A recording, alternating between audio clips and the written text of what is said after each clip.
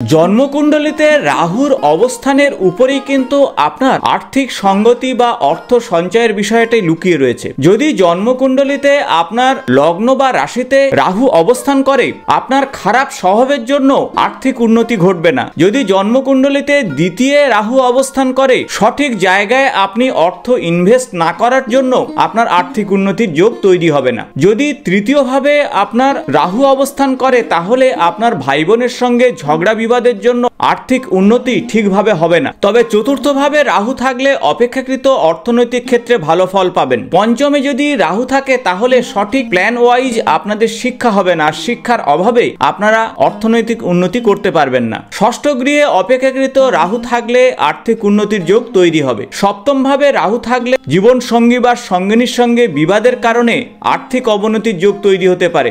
অষ্টম গৃহে রাহু অবস্থান করলে আপনার ভাগ্য বিপর্যয়ের কারণে আর্থিক উন্নতির যোগ তৈরি হয় না। নবম ভাবে রাহু অবস্থান করলে আপনার খারাপ স্বভাবের জন্য আপনারা আর্থিক উন্নতি করতে পারেন না।